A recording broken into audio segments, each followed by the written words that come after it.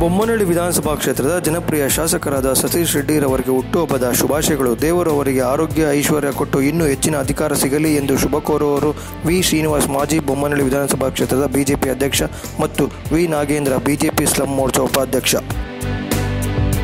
ಸತೀಶ್ ರೆಡ್ಡಿ ಅವರು ಹುಟ್ಟುದಬ್ಬ ಅವ್ರದ್ದು ಶು ಹುಟ್ಟುದಬ್ಬದಕ್ಕೆ ಶುಭಾಶಯಗಳು ಕೋರ್ತಾ ಇದ್ದೀನಿ. ಅವರಿಗೆ ದೇವರು ಆಯುಸ್ಸು, ಆರೋಗ್ಯ ಚೆನ್ನಾಗಿ ಕೊಡಲಿ ಅಂತ ಹೇಳ್ತಾರೆ.